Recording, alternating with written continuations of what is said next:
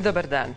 Predsjednik Republike Srpske Milorad Dodik sa preoslave Dana Republike u Brčkom poručuje da je Srpska za mir i da je spremna za saradnju sa drugima, ali da nema spremnosti na kompromise kojima se na bilo koji način umanjuje značaj Republike Srpske. Komentarišući reagovanja na angažman srpske komponente oružanih snaga Bosne i Hercegovine u obilježavanju Dana Republike, Dodik je rekao da će Srpska sada razmišljati na koji način i uz koje procedure da prekine taj sporazum o zajedničkoj vojsci i da se vrati na prvobitni Dejtonski dogovor, koji podrazumijeva da Republika Srpska ima svoju vojsku.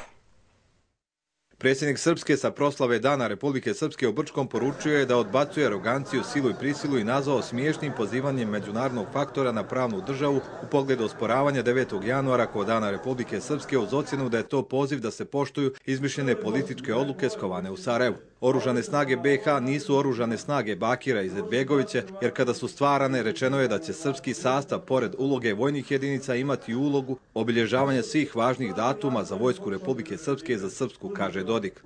Ja znam da postoje mnogo problema na tu temu i da to neće biti lako, ali moramo napraviti prvi korak.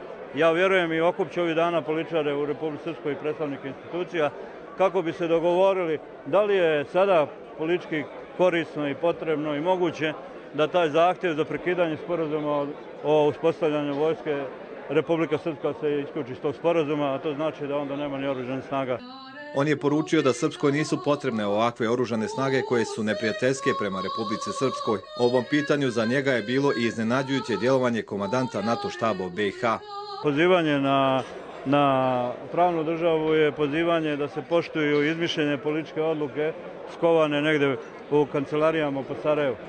I to je vidljivo.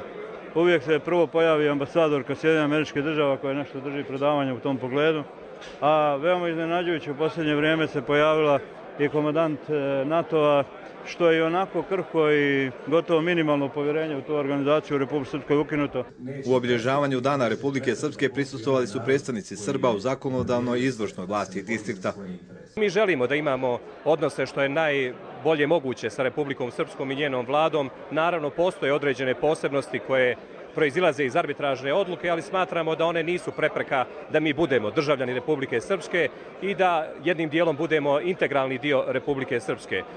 U okviru obježavanja Dana Republike Srpske u Brčkom su na spomenik braniocima položeni vijenci. Organizovan je svečani prijem kojem je prisustovao i njegovo preosveštenstvo vladika Zvoničko-Tuzlanski Hrizostom.